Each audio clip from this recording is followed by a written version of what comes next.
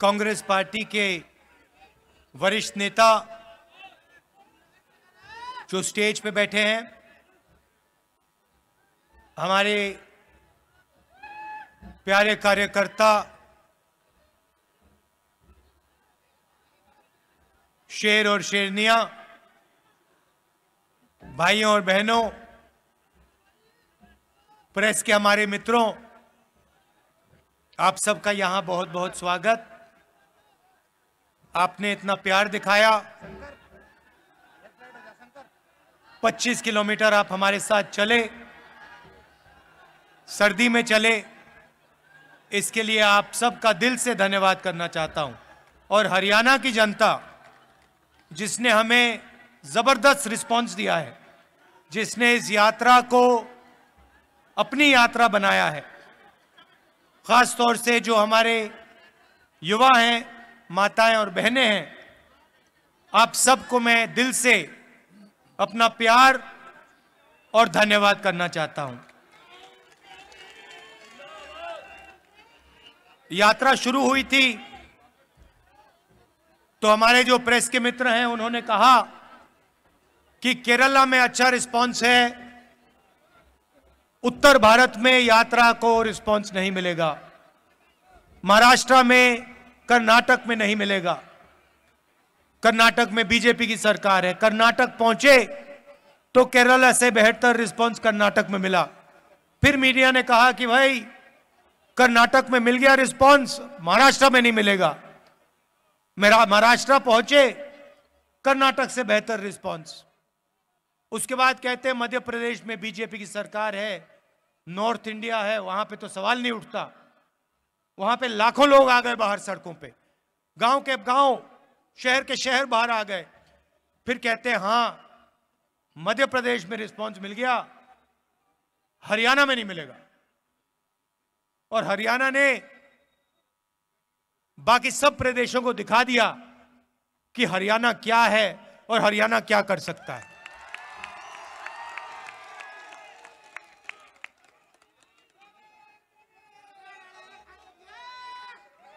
और जो हमने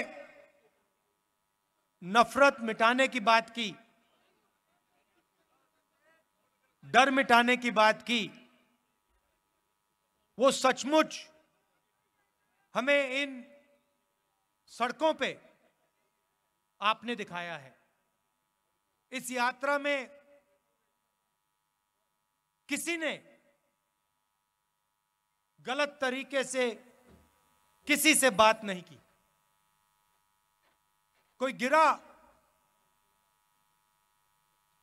चाहे हिंदू हो, मुसलमान हो, सिख हो, ईसाई हो, मैंने अपनी आँखों से देखा, जैसे ही गिरा, यात्रा ने उस व्यक्ति को अपने गोद में लिया। किसी ने नहीं पूछा, भाई, तुम हिंदू हो, मुसलमान हो, सिख हो, ईसाई हो, कौन सी जात के हो? ना। जैसे ही कोई गिरा, वैसे ही पूरी यात्रा ने, हिंदुस्तान ने उसको अपना माना, उसको उठाया, पानी पिलाया, अगर पट्टी की ज़रूरत थी पट्टी की, और फिर कहा, चलो चलो, हमारे साथ चलो। यह आपने दिखाया हमें। और यह नई चीज़ नहीं है। यह आपका जो प्रदेश है यह सदियों से देश को यही दिखा रहा है। महाभारत की ज़मीन है। कौरव पांडवों की ज़मीन है। जो उस समय लड़ाई थी, बात लोगों को अभी समझ नहीं आ रही है। मगर जो उस समय लड़ाई थी वही आज लड़ाई है। लड़ाई किसके बीच में है?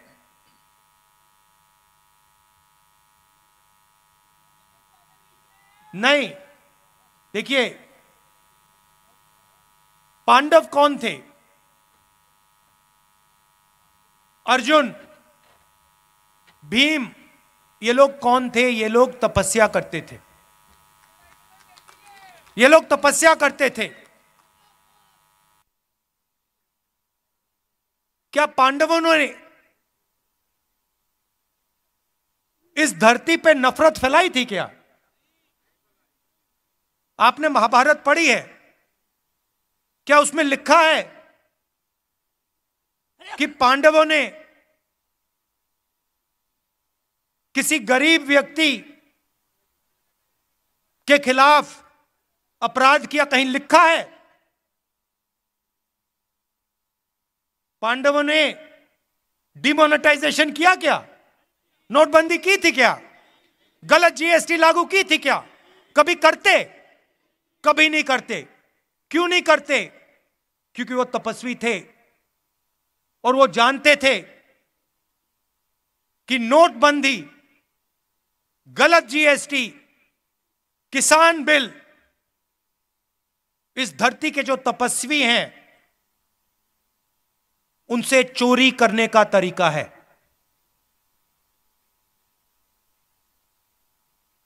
एक तरफ़ तपस्वी थे, पाँच थे। दूसरी तरफ़ संगठन था। एक तरफ़ पाँच तपस्वी और भीड़। उनके साथ पांडवों के साथ हर धर्म के लोग थे।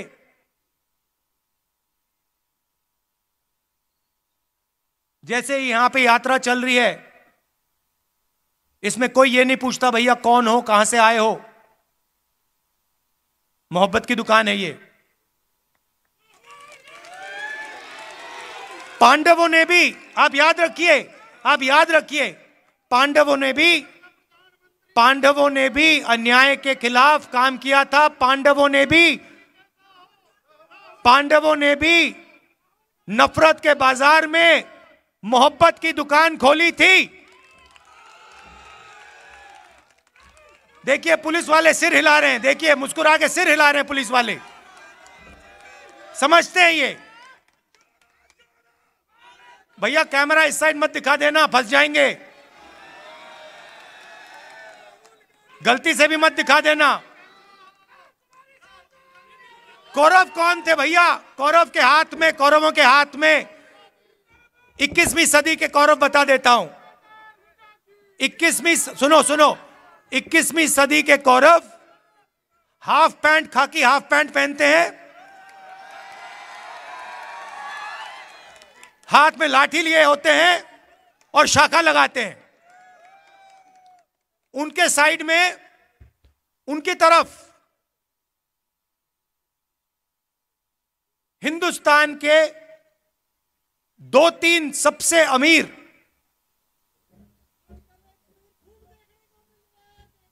अरबपति कौरवों के साथ खड़े हैं। भाई और बहनों, नोटबंदी किसने करवाई? गलत जीएसटी किसने लागू की? किसके लिए की गई? और किसके खिलाफ की गई, ये आप समझिए। नोटबंदी, गलत जीएसटी नरेंद्र मोदी ने ज़रूर साइन किया। मगर नरेंद्र मोदी जी की शक्ति ने गलत जीएसटी नोटबंदी नहीं लागू करवाई। हिंदुस्तान के दो तीन अरबपतियों की शक्ति ने इन्होंने प्रधानमंत्री का हाथ चलाया। मानो ना मानो, आपको देखने को मिलेगा।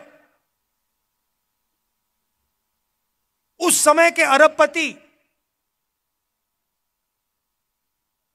पांडवों के साथ खड़े थे क्या? अगर खड़े होते तो पांडव जंगल में क्यों बैठे थे? पांडवों को घर से क्यों निकाला? क्योंकि उनके साथ अरबपति नहीं खड़े थे।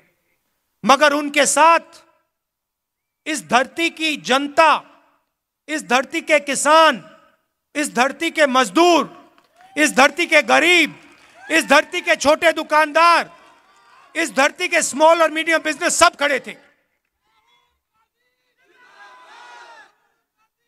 ये देश भाई और बहनों यह देश तपस्वियों का देश है।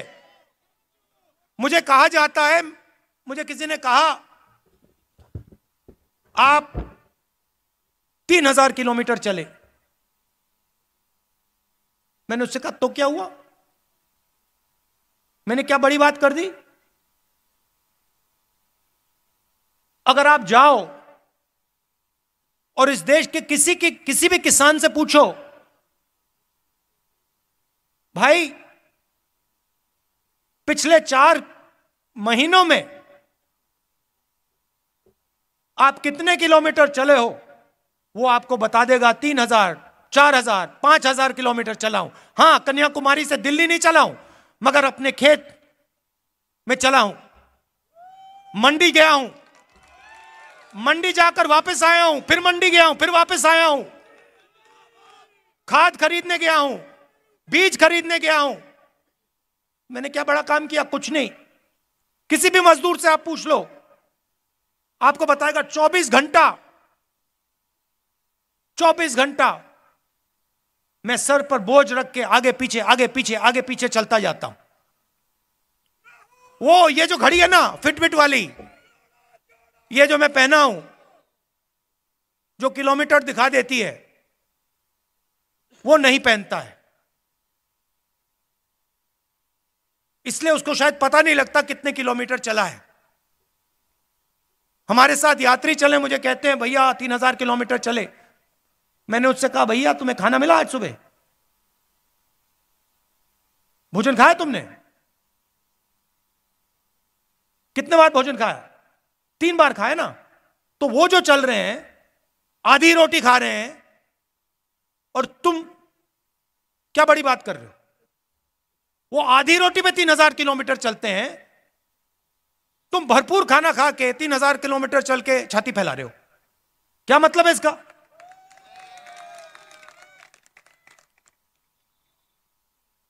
फिर ये मेरी टी शर्ट के पीछे पड़ गए।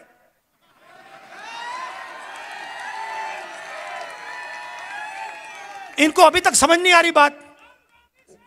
नहीं, उनको समझ नहीं आ रही बात। देखो, ये कह रहे हैं टी शर्ट क्यों पहना है? ये सफ़ेद टी शर्ट क्यों पहना है? इसको सर्दी नहीं लगती? सबसे पहले मैं आपको बताता हूँ। मैं आपको बताता हूँ क्यों पहना हूँ।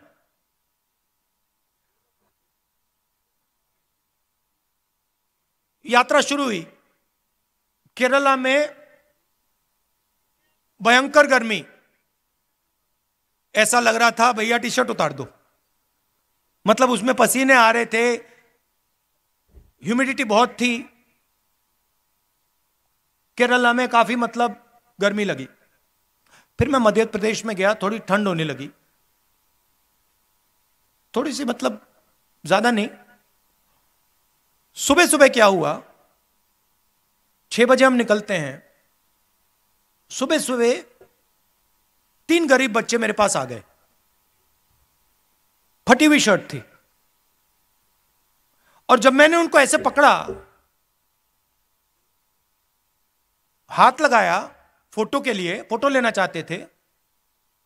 एक इस साइड और एक साइड, लड़कियाँ थी, एक इस साइड, एक इस साइड, जैसे मैंने उनको पकड़ा, वो काँप रही थी। ठंड से काँप रही थी।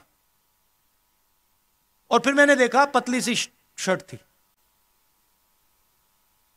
उस दिन मैंने निर्णय ले लिया कि जब तक मैं नहीं कांपूँगा, मैं टी शर्ट पहनूँगा। जब कांपना शुरू हो जाएगा, जब मुझे अच्छी मतलब ठंड लगने लगेगी, जब ज़बरदस्त कठिनाई होगी तो फिर मैं स्वेटर पहनने का सोचूँगा, मगर उससे पहले नहीं करूँगा। मैं उनको मैसेज देना चाहता हूँ, उन तीन लड़कियों को देना चाहता हूँ कि अगर आपको ठंड लग रही है तो फिर राहुल गांधी को भी ठंड लगेगी। जिस दिन आपने स्वेटर पहन लिया, उस दिन राहुल गांधी स्वेटर पहन लेगा। नहीं नहीं नहीं, ये बात मत बोलो। ये फिर से आप गलत बात बोलना शुरू कर दो। महात्मा गांधी नहीं हूँ मैं। आप, नहीं, सुनो, ये मेरे जैसे इस देश में करोड़ों लोग हैं। ठीक है? करोड़ों लोग हैं। यहाँ पे क्या हो रहा है? यहाँ पे काम कोई कर रहा है। तपस्या तो कोई कर रहा है। जैसे मैंने पांडवों की बात की, यहाँ पे युद्ध हुआ था। हज़ारों लोग मरे थे। वो क्यों हुआ था? क्योंकि उस समय हिंदुस्तान में जो काम कर रहा था जो तपस्या कर रहा था। उस समय किसान थे, मजदूर थे।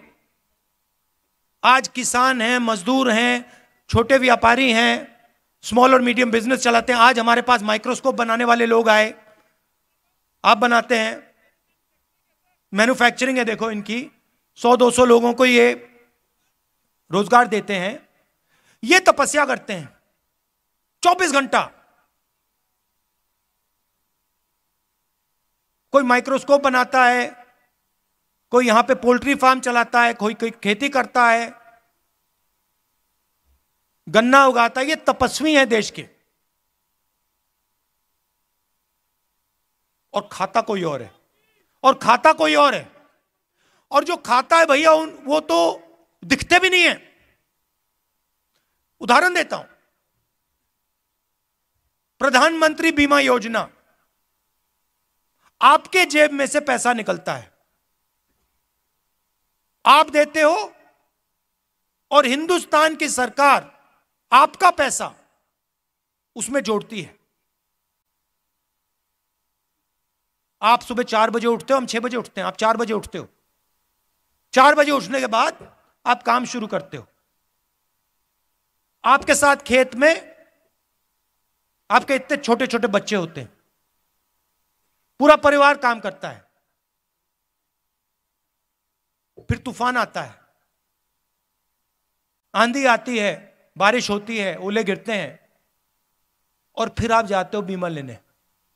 कहते हो, भैया, चलो नुकसान हो गया, बीमा का पैसा तो भरा था। पता लगता है इंटरनेट पे आपको कंपनी नहीं मिलेगी। नाम नहीं मिलेगा। फ़ोन करो कोई जवाब नहीं देगा।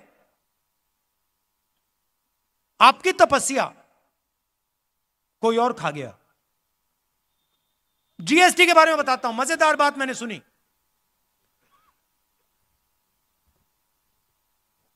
अगर आप, चाहे वो मैदा हो, गुड़ हो, अगर आप 25 किलो से ज़्यादा से कम मैदा, गुड़ अपनी दुकान में बेचते हो। छोटे व्यापारी को बात कर रहा हूँ। अगर 25 किलो से कम बेचते हो तो आप पर जीएसटी लग जाती है। और अगर आप 25 किलो से ज़्यादा बेचते हो, आप पे जीएसटी नहीं। मतलब छोटे व्यापारी पे जीएसटी अदानी पे जीएसटी नहीं। क्यों? आपने क्या गलती की? अगर आप पे लग रही है तो उन पे लगनी चाहिए। अगर उन पे ना लगे तो आप पे ना लगे। किसान आए हमारे पास एमएसपी एमएसपी की बात की। हिमाचल प्रदेश में मैंने आज अखबार में पढ़ा, सेब का पूरा का पूरा व्यापार एक उद्योगपति के हाथ में। जम्मू कश्मीर जाएँगे, पूरा का पूरा सेब का व्यवहार उसी उद्योगपति के हाथ में। नहीं नहीं हुए भैया। क्योंकि शहीद जो होता है उसको शहीद का दर्जा मिलता है। पार्लियामेंट हाउस में मैंने बात उठाई कांग्रेस पार्टी ने बात उठाई कि भैया ये 700 लोग शहीद हुए हैं। इनका नाम तो ले लीजिए पार्लियामेंट हाउस में। दर, शहीद का दर्जा तो दे दीजिए। प्रधानमंत्री कहते कोई शहीद नहीं हुआ। हमने मौन करा दिया वहाँ पे। मैं खड़ा हो गया, मैंने कहा, भैया, हम तो मौन करेंगे, स्पीकर। गुस्सा हो गया मुझसे। कहते, देखिए, पार्लियामेंट हाउस में जो 700 किसान शहीद हुए हैं, उनके लिए दो मिनट मौन नहीं रखा जा सकता है। हम जानते हैं कि शहीद हुए उनके परिवार जानते हैं कि शहीद हुए हिंदुस्तान की सरकार नहीं जानती, उनके लिए नहीं शहीद हुए। मगर वैसे मैं उनकी बुराई इतना नहीं करना चाहता। वो करने जो कर रहे हैं, करने दो उनको। मैं क्या चाहता हूँ? कि जो तपस्वी है, चाहे वो किसान हो, मजदूर हो, छोटा व्यापारी हो, जो वो तपस्या करे, गीता में लिखा है क्या लिखा है गीता में तपस्या के बारे में? बताइए भैया आपसे लहराने तपस्या करो और फल फल मत देखो। मगर गीता में यह नहीं लिखा है कि तपस्या करो और फल नहीं मिलेगा। तो गीता में लिखा है, तपस्या करो और यह देश तपस्या कर रहा है। और इस देश की सरकार को उस तपस्वी की मदद करनी चाहिए। उस तपस्वी की रक्षा करनी चाहिए। ऐसा हिंदुस्तान में देखना चाहता हूँ। यात्रा का यही लक्ष्य है। यात्रा यात्रा का लक्ष्य यह है, यात्रा देश को यह बता रही है कि आपकी तपस्या जाया नहीं जानी चाहिए। मैं जानता हूँ कि जिस दिन हिंदुस्तान के किसान, मजदूर, छोटे व्यापारी, इनको इनकी तपस्या का फल मिल जाएगा। उस दिन इस देश के सामने कोई देश नहीं खड़ा हो सकता है। ये आप ये आप अपने मोबाइल फ़ोन के पीछे देखो, इसमें लिखा मेड इन चाइना। पुलिस वालों के जूतों के नीचे लिखा होगा मेड इन चाइना। शर्ट के पीछे मेड इन चाइना माइक्रोफोन के नीचे मेड इन चाइना तंग आ गया हूँ मैं मेड इन चाइना से। जहाँ देखो made in China made in China मैं चाहता हूँ कि वहाँ पे बेजिंग में एक चाइना का युवा फ़ोन देखो, उसमें लिखा हो मेड इन कुरुक्षेत्र। ले, ऐसा हिंदुस्तान चाहता हूँ। और जो कुरुक्षेत्र में जिसने माइक्रोफोन माइक्रोस्कोप बनाया सॉरी अंबाला जिसने अंबाला में माइक्रो, माइक्रोस्कोप बनाया, उसके जेब में चाइना के युवा के पैसे आए। ये चाहता हूँ मैं। तो मगर सबसे पहला कदम, सबसे पहला कदम डर और नफरत को मिटाने का है। देखिए, हरियाणा में युद्ध हुआ था। पांडवों ने डर और नफरत को मिटाने का काम किया था। जैसे मैंने कहा, नफरत के बाज़ार में मोहब्बत की दुकान खोली थी। और ये मैं नहीं कह रहा हूँ, ये ये मत सोचिए कि मेरा नारा है, मेरा नारा नहीं, उनका नारा है। ये ये पांडवों का नारा है, ये पांडवों का नारा है, ये भगवान राम का नारा है ये इस देश का नारा है और हज़ारों सालों से यह नारा चल रहा है। ये कुछ नया काम नहीं किया मैंने। आखिरी बात कहना चाहता हूँ। और यह आपको मालूम होनी चाहिए। देखिए, जब भी मैं चल रहा हूँ, जहाँ भी मैं जाता हूँ, राजस्थान में जय सिया राम। जय सिया राम। अच्छा ये आरएसएस वाले हर हर महादेव तो कभी नहीं कहते। आप देखो, नोट करो, कभी नहीं कहते ये। क्यों नहीं कहते? नहीं, मैंने सोचा इसके बारे में, क्यों नहीं कहते?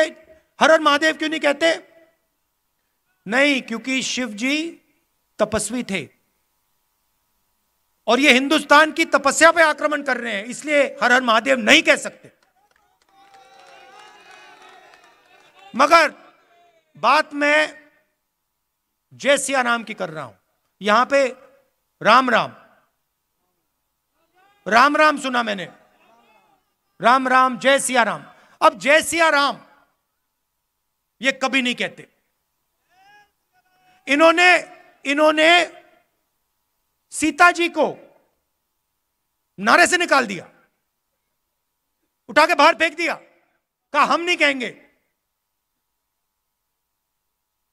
ये हमारी हिस्ट्री, हमारे संस्कार, हमारे इतिहास के खिलाफ काम किया इन्होंने।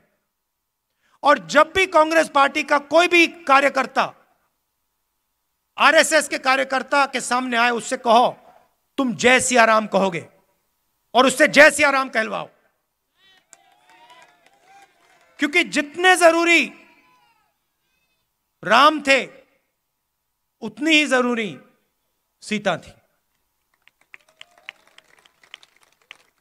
तो आप सब यहाँ आए, इतने प्यार से आपने मेरी बात सुनी, दिल से आपका धन्यवाद करना चाहता हूँ।